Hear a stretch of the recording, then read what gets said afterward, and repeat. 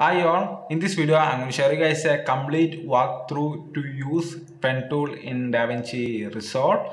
So let's jump into this walkthrough.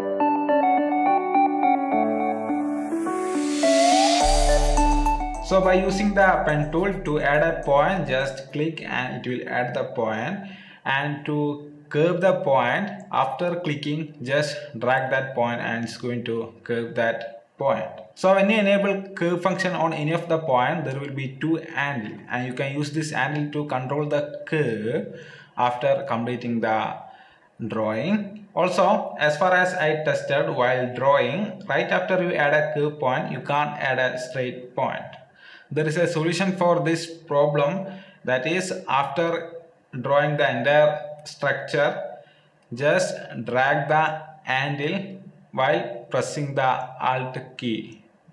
While pressing the alt key only one of the handle will move. Just move that handle till the handle points straight towards the line. Then you can get a straight line. So after completing the drawing to add a point just press the line. It will add a point. And to select the point just shift click and drag and you can select the point and to delete a point you need to follow the same step. That is shift and drag to select the point then press delete to delete that point. And to curve the point that you already added to the drawing just press alt key and just drag that point and it's going to curve.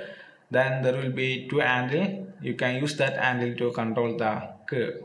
And to control one side of the curve just press alt key and change the handle on the side which you want to curve and to remove the curve just double click and it's going to remove the curve so this is the complete walkthrough of using pen tool in DaVinci Resolve.